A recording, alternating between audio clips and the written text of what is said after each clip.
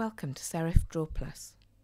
In this tutorial, I'll demonstrate the powerful PhotoLab included in DrawPlus and show you how to apply adjustment filters to selected areas of an image using a mask.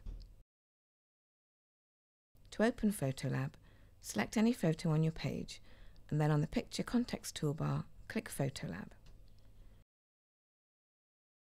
In this photo, let's apply a black and white filter to the background but keep the subject of the photo in colour.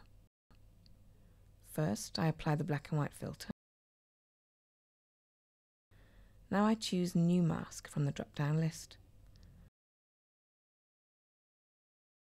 By default, I'm in Select mode, and I don't need to change this. Now I just select the areas to which I want to apply the black and white filter.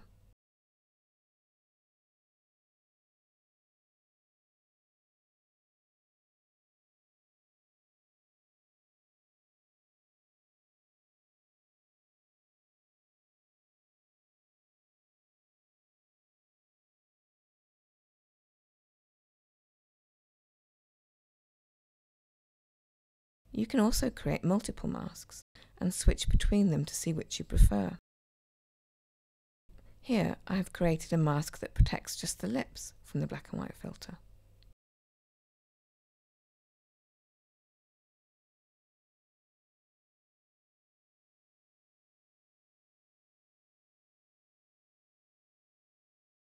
Once you've created a mask, you can use it on any filter you apply to your image and if you decide you don't want to apply a mask, just choose None from the drop-down list.